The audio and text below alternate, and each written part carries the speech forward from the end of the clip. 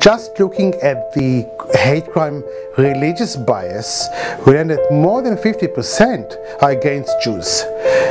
race bias hate crime, more than 50% are against Afro-Americans. Hate is all over the place and this is the major, major danger to our life in every community all over this globe and we need to do something. How can we fight it?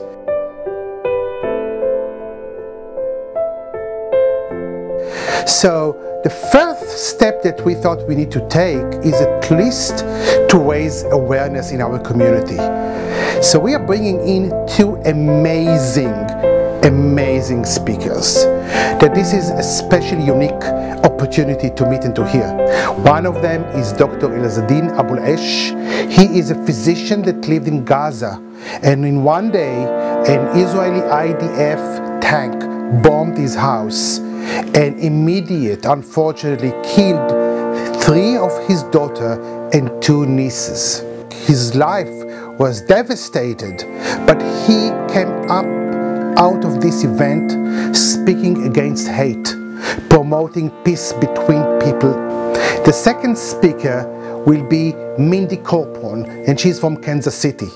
She lost her father and son at the parking lot at the Kansas City JCC. They came to enjoy the facilities, there are members there, open for everyone and welcome everyone. A shooter came to the parking lot and he wanted to aim his act against Jews. And he found Mindy's father and son and he killed them.